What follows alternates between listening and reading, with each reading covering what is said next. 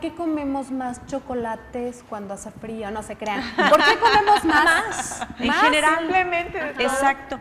Hay factores tan importantes, eh, muchachas, que ocurren cuando empieza a cambiar la temporada.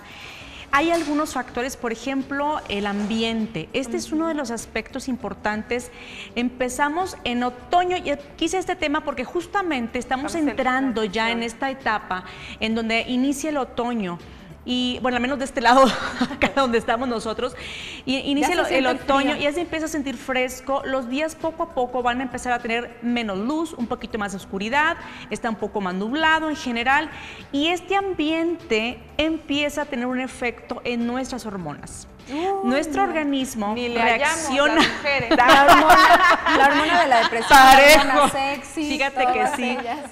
Empezamos a segregar ciertas hormonas que nos llevan a tener una necesidad eh, que empiezan a bajar la temperatura interna corporal, que eso es algo muy interesante, y además aunado a esto la temperatura externa, es decir, se siente, está la sensación de frío interno más el frío externo, el cuerpo necesita compensar esto, nuestro organismo requiere mantenerse calientito, la sensación de calorcito, y es muy importante atender esta parte. La parte emocional, es decir, Entramos a una época en donde muchas personas les pega un poquito la depresión, empieza un poquito la tristeza, o a lo mejor no es tristeza ni depresión, un poco melancolía, un poquito, o nos, o nos apagamos tantito porque no hay sol, hay personas muy sensibles a esta, a esta parte y nos da por comer, es decir, queremos suplir esa alegría por la, co- eh, a través de la comida, más bien dicho, Oye, a través de los alimentos. Antes de que se me vaya Ajá. rapidísimo, es súper importante la alimentación en las personas depresivas porque Sí. cosas que, que les hace daño para su cerebro y, y mantienen la depresión y comen más de eso, lo siguen manteniendo, lo siguen qué comiendo. chistoso, Rosy, para qué- este qué tipo de personas,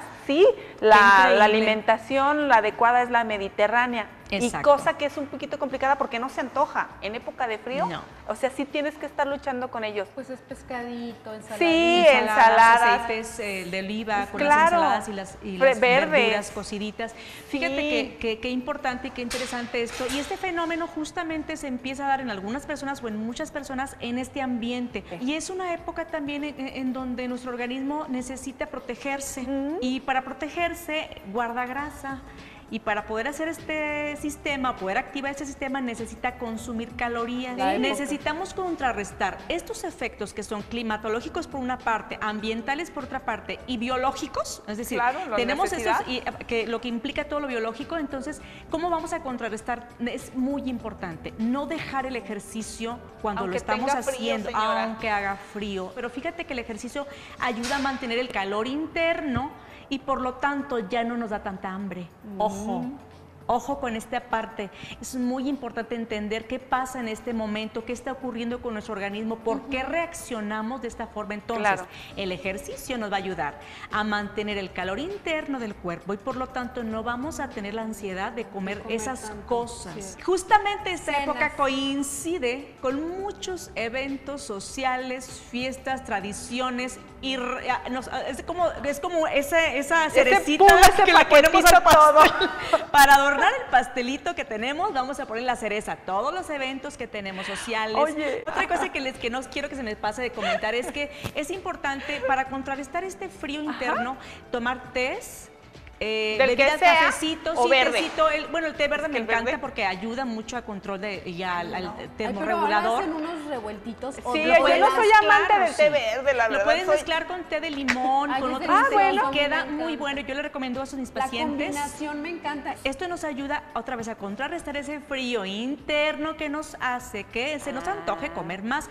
¿Qué otra cosa se recomienda para la comida? No debemos dejar de consumir verduras, frutas, en la forma en la que podamos. La verdura la podemos eh, De cocer, temporada exactamente, también. de temporadita, calditos, los que el caldito de pollo, eh, pues no, y los consumir la fruta y verdura de la, de la, de la temporada, exacto. O la proteína, fíjate que no es tan mala, incluso hasta de noche, si es un caldito de pollo, el pollo Exacto. te deja tan satisfecho y tan feliz que Las- también lo suple, ¿no? Las cremas Esa también, ansiedad. que yo creo que vamos a traer una recetita de una cremita sabrosa para que vean que esa la Bajas en podemos. calorías, sí, claro. exactamente, Y es lo que queremos.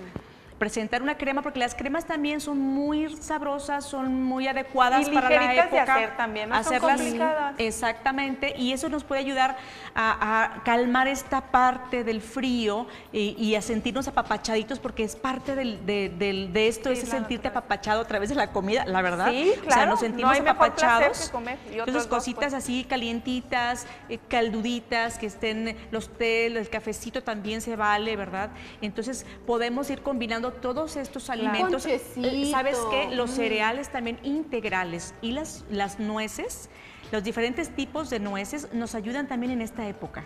Y también Ah, te sacian sí. Pero cereales te como quitan es- esa cereales integrales, por ejemplo, el arroz integral, el Ah, pan integral, o sea, que sean integrales porque nos aportan calorías y muchas vitaminas y minerales y, por supuesto, la fibra, que es tan importante. Ok. Pues hablando de Me eso, ya enamora. las voy a invitar a, tomarnos un café también por ahí, por ahí vámonos al pastelito. Llegó la hora de despedirnos, Sí. pero empieza la semana de chonguese, Claro, ejercicio, viva. Haga ejercicio. coma, también Sí, rico, pero también vaya y haga su ejercicio y sobre todo no deje de vernos. Diviértase y conviva. Gracias por estar con nosotros, gente Besos. bonita de Facebook y de todos lados. De todos nuestros alrededores.